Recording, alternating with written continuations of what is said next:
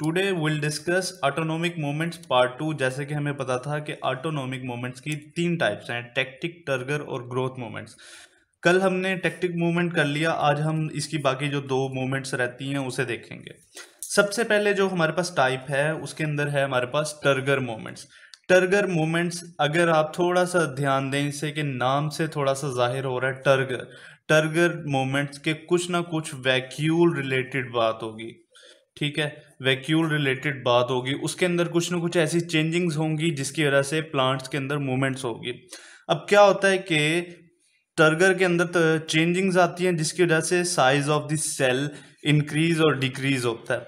अब इसे हम बेसिकली देख लेते हैं कि जैसा हमारे पास एक एग्जांपल है इसकी। Touch me not touch me not के अंदर ये एक प्लांट है, इसे जो ही आप टच करते हैं, इसके जो लीव्स हैं, वो क्लैप्स कर जाते हैं। होता क्या है कि मिसाल के तौर पे ये इसका सेल है सेल के अंदर एक वैक्यूल है। ठीक है? वैक्यूल के अंदर जो यानी कि हमारे पास इसके गेट्स वगैरह होते हैं, जिसके थ्रू मूवमेंट्स ऑफ़ वाटर और आयंस की मूवमेंट होती है। जो ही इसे हम हाथ लगाते हैं तो इसके अंदर देखा गया है कि पोटाशियम आयन मूव कर जाता है, जिसकी वजह से सारा के सारा जो पानी है, वो मूव मूव कर जाता है, जिसकी वजह से जो सेल का साइज़ है, वो स्मॉल हो जाता है यानी कि छोटा साइज़ हो जाता है, जिसकी वजह से हमारा प्लांट का जो वो पोर्शन है स्पेसिफिक पोर्शन उसके अंदर मूवमेंट होती है। अब इसके अंदर इसकी मज़ीद थोड़ी सी टाइप्स देख लेते हैं कि अब हमारे पास क्या है कि स्लीप मूवमेंट्स स्लीप मूवमेंट्स एक इसकी मज़ीद टाइप है, जिसके अंदर क्या होता है कि लोअरिंग ऑफ़ द लीव्स होता है कि जो हमारे पास लीव्स हैं प्लांट के, वो यानी कि झुक जाते हैं शाम के वक्त। अब इसकी मिसाल हमारे पास बीन बीन प्लांट्स हैं। ठीक है, और इसके अलावा अगर आप यानी कि देखें तो इसके अंदर होता क्या है कि ये देख लें, हमारे पास ये एक स्टेम है। स्टेम के साथ ये हमारे पास लीव का पोर्शन जा रहा है, ठीक है। अब इसके अंदर ये ये देख लें लीव है। ठीक है। अब इस जो स्वालन पोर्शन है, अगर आप देखें इसे खुद तो आपको ये उम्मीद है कि नज़र आ जाएगा। तो इसे क्या कहते हैं? पलविनस। पल्विनस पोर्शन है, इसके अंदर क्या होता है कि सारा कमाल इसी चीज़ का है। अगर हम इसे थोड़ा सा बड़ा करके देख लें इस पेल्विनस को, इसके अंदर हमारे पास दो सेल होते हैं ऑलमोस्ट ठीक है? एक ऊपर होता है, एक नीचे होता है। तो शाम के वक्त क्या होता है कि इस वाले सेल का टर्गर प्रेशर लो कर जाता है, जिसकी वजह से ये कोलैप्स कर जाता है और उसके नतीजे में जो हमारा लीव है, वो नीचे की तरफ़ मूव कर जाता है।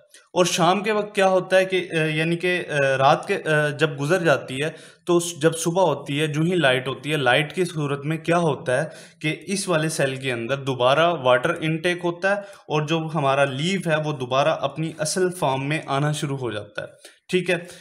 अब हम इसकी दूसरी टाइप की बात करते हैं rapid movements of leaves rapid movements of leave इसकी जैसे कि हमारे पास सबसे अहम मिसाल जो है टच मी नॉट क्या है? टच मी नॉट प्लांट है, जो ही हाथ लगाते हैं within two two three second इसके जो लीव्स हैं, वो कोलैप्स कर जाते हैं। अब इसके अंदर वही बात है कि पोटाशियम आयन का एक्स ओस्मोसिस वगैरह, पोटाशियम आयन सबसे पहले निकलता है उसके पीछे। आपको पता है कि जो ही अगर साल्ट्स की कंसनट्रेशन जहाँ ज़्यादा होगी वाटर की मूवमेंट भी उसी साइड पे होगी। पोटाशियम आयन सेल से बाहर निकलेगा तो इसका मतलब है कि वहाँ से वाटर भी बाहर एक्स ओस्मोसिस होगी, जिसकी वजह से यानी जो हमारे छुई मुई के जो पत्ते हैं, वो जल्दी से कोलेप्स कर जाते हैं।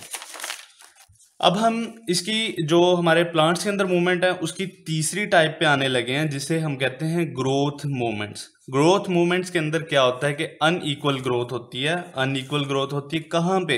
Two sides of the plants organ plants की जो साइड्स हैं, उसकी वहाँ पे ही कुछ ऐसा होता है कि जिसकी वजह से प्लांट के अंदर ना अनइक्वल ग्रोथ होती है। बेसिकली ये ग्रोथ हमें कहाँ कहाँ देखने को मिल सकती है? स्टेम के अंदर देखने को मिल सकती है रूट्स के अंदर टेंड्रिल्स के अंदर और बर्ड्स के अंदर देखने को मिल जाती है। अब जो ग्रोथ मूवमेंट्स हैं, उसे मज़ीद तीन टाइप्स में डिवाइड किया गया है, जिसके अंदर हमारे पास सबसे पहले एपिनेस्टी हाइपोनेस्टी और नोटेशन ठीक है, इसे वन बाय वन हम देखेंगे। अब एपिनेस्टी के अंदर how we can define epinasty. Epinasty को सिंपली हम डिफाइन कर सकते हैं कि ओपनिंग ऑफ़ द बर्ड यानी कि हमारे पास बर्ड का खुलना एपिनेस्टी कहलाता है। इसके अंदर होता क्या है? मिसाल के तौर पे ये हमारे पास एक बर्ड है, ठीक है? ये एक बर्ड है। इसके जो लो अपर पोर्शन है, ठीक है एपिनेस्टी में जो अपर पार्ट ऑफ़ लीफ है, यहाँ पे ग्रोथ ज़्यादा होती है और लोअर पार्ट में ग्रोथ कम होती है।